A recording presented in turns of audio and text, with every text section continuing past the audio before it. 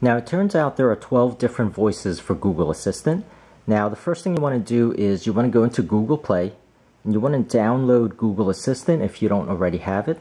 Now you want to open the app and after opening the app here you could see there is a corner menu option right there. I'm going to tap on it and tapping on it will open up the screen.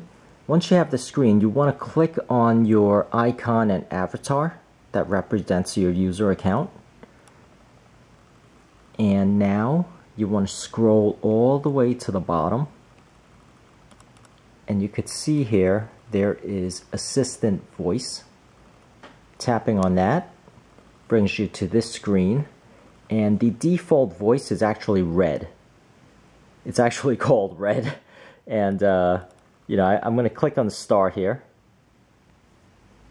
Hey, Issa Rae here. I lent my voice to your Google Assistant so you can hear me do things like answer your questions, brief you on the weather, So- and tell jokes. so that's while the Issa regular Rae. Assistant voice does the rest. Here are the voices you can pick for your Google Assistant.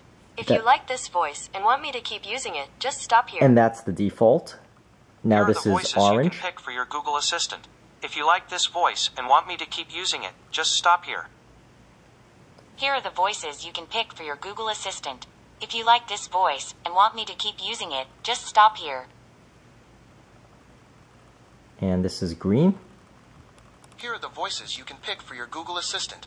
If you like this voice and want me to keep using it, just stop here. Here are the voices you can pick for your Google Assistant. If you like this voice and want me to keep using it, just stop here. Here are the voices Ooh. you can pick for your Google Assistant. If you like this voice and want me to keep using it, just stop here. Here are the voices you can pick for your Google Assistant. If you like this voice and want me to keep using it, just stop here. That's a little bit uh, Here are the robotic there. voices you can pick for your Google Assistant. If you like this voice and want me to keep using it, just stop here.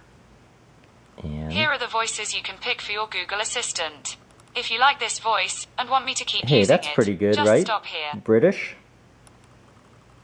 And last Here one. are the voices you can pick for your Google Assistant. If you like this voice and want me to keep using it, just stop here. and that is uh, Sydney, which is uh, Australian.